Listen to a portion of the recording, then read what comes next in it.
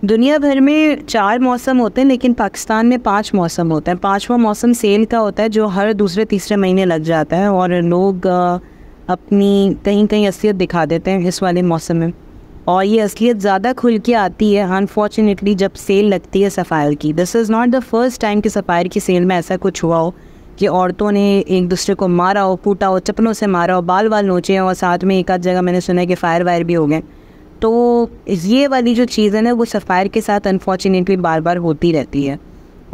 इससे पहले एक बड़ा बुरा सफ़ायर का एक सेल का वाक़ हुआ था कि जब कराची में लकी वन पहली दफ़ा खुला था और वहाँ पे सफ़ायर की स्टोर लॉन्च सेल लगी थी और काफ़ी बड़े मार्जिन से वो लोग सेल ऑफ़र कर रहे थे और औरतें बहुत ज़्यादा थीं, बहुत ठीक ठाक नंबर्स में थी हती कि यहाँ तक हो गया था कि लकी वन में घुस नहीं पा रहे थे हम। एंटर नहीं हो पा रहे थे, इतना ज़्यादा रश हो गया था। Lucky one is a very huge mall और समवेर मैंने सुना है कि जी इसी तरह का कुछ वाक़ हुआ है फैसलाबाद में। और इनफैक्ट उसके कुछ क्लिपिंग वगैरह भी आपको इंटरनेट पर मिल जाएँगे, दिख जाएँगे और ये सारी चीज़ें जो हुई हूँ। तो बड़ा अनफॉर्चुनेट है, आप एक इस तरह के मुल्क में रहते हैं जहाँ पे बहुत सारे लोगों को खाने को खाना नहीं है।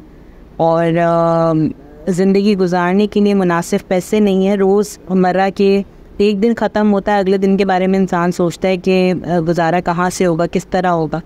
इस तरह के वाक़ात में भी होते हैं। लोग खुदकुशियाँ कर रहे हैं, शादियाँ टूट रही हैं। लोग अपने बच्चे अबॉर्ट कर दे रहे हैं, छोड़ के कहीं चले जा रहे हैं, क्योंकि वो उनका बोझ नहीं उठा पाते। इन सब के बीच में जब हम इस तरह के वाक़ात देखते हैं ना तो हमें लगता है कि हम माशरे की उस बुराई में गिरफ़्तार हैं जिसका कोई हल नहीं है। हम बतौर नेशन इस तरह के लोग हैं कि हम में टॉलरेंस नाम की चीज़ ही नहीं है, हम में एक्सेप्टेंस नहीं है, हम में कॉम्प्रोमाइज़ नाम की चीज़ नहीं है। मैंने इंडियंस को देखा है इंटरनेशनली वो जब, जहाँ जिन ममालिक में वो रहते हैं और वहाँ पे वो किस फंदा पेशानी से अपनी ज़िंदगी गुजारते हैं they are being very simple बहुत सिंपल लोग होते हैं और अपनी लाइफ को बहुत अच्छे से वो टेकअप करते हैं। जो चीज़ें ज़रूरत के हिसाब से उस हिसाब से अपनी ज़िंदगी को मैनेज करते हैं प्लान करते हैं। लेकिन उन्हीं के कंपैरिजन में स्पेशली जब आप गल्फ़ कंट्रीज़ में पाकिस्तानीज़ को देखते हैं तो आपको अंदाज़ा होता है कि हम कितने शोदे हैं। Yes as a nation we are शोदास हम अक्सर कभी सोचते हैं ना कि यार इंडिया क्यों इतनी तरक्की कर गया, उस वो और हम तो साथ साथ आज़ाद हुए थे, और इंडिया तो इतना बड़ा है कि उनके मसाइल हमसे ज़्यादा थे। उसके बावजूद इंडिया हमसे बहुत आगे है। This is the one of the reason कि लोगों के अंदर एक ज़िंदगी गुजारने का ढंग है। डिस्पाइट ऑफ़ ऑल द चीज़ें जो आप सुन रहे होते हैं, बुराई हर जगह होती है, लेकिन अच्छाई भी होती है। तो उस चीज़ को एक्सेप्ट करना बहुत ज़रूरी है कि हम एज ए नेशन कहना चाहिए ना, हमें, हम ऑर्गेनाइज्ड नेशन नहीं है। पाकिस्तानी एक ऑर्गेनाइज्ड कौम नहीं है।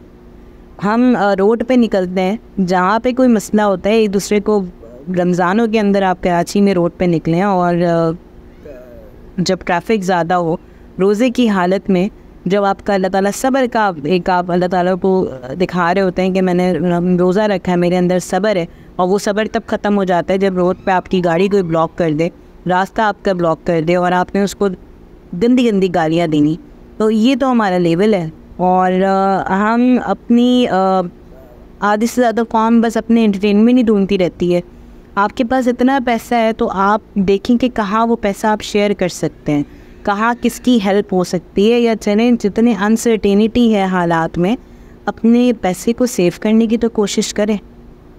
कहीं आपको नहीं पता इतनी इतनी अनसर्टेनिटी में कल क्या होगा, आपको नहीं मालूम तो आप कहीं सेविंग्स करें। अपने आप को शो ऑफ़ करना कि मैं फ़ना जगह से कपड़े ले रहा हूँ फ़ना मैंने पहने हुए हैं और फ़ला ब्रांड में पहनता हूँ फ़ला जगह खाना खाता हूँ। किसी रेस्टोरेंट में भी आप चले जाएँ, किसी पिकनिक स्पॉट पर आप चले जाएँ, किसी मार्केट में आप चले जाएँ, आपको बहुत अच्छे से मालूम चलेगा कि यहाँ पर महँगाई नाम की चीज़ एग्जिस्ट तो करती है, लेकिन महँगाई नहीं असर कर रही है हम पे। हम डीट के डीट हैं, हम अपनी कैपेसिटी पे गौर नहीं करते। हम अपनी नीड्स पे गौर करते हैं कि हमें किस चीज़ की ज़रूरत है। हमें बस वो चाहिए अपनी ज़िंदगी में। या चलो अगर आप अपनी life of course everybody has right and I am no one to जज इन यू वन या कोई भी किसी को जज करने वाला नहीं होता है। बट uh, आपकी जो नुमाइश है चीज़ों की नुमाइश और स्पेशली इस इकोनॉमिक क्राइसिस के दौरान it is very अनपॉल्ड and it shouldn't be there ये नहीं होनी चाहिए। क्योंकि देखिए हम हम बहुत अच्छी लाइफ गुजारे हैं लेकिन हमारे ऐसे बहुत सारे बहन भाई हैं पाकिस्तानी। जो अच्छी लाइफ उस तरह से नहीं कर पा रही है, जिनकी बहुत अच्छी थी। बट ड्यू टू किसी की जॉब चली गई, किसी के साथ और मसाइल हो गए, किसी को ये समझ में नहीं आता कि बच्चों की फ़ीस देनी है, कि बिजली का बिल पे करना है।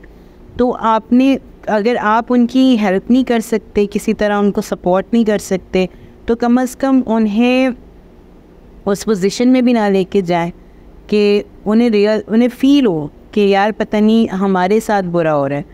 तो everything happens for a reason of course दुआ यही है कि हम इस इकोनॉमिक क्राइसिस से बाहर निकलें।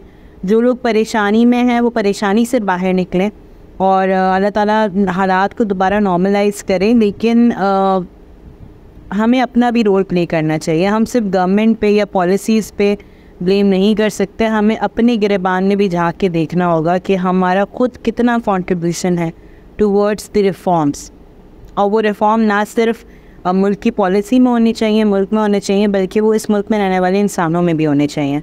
So this is all from my side I really felt very bad after watching this video कुछ लोग इसका मज़ाक उड़ा रहे हैं, कोई मीम्स बना रहे हैं।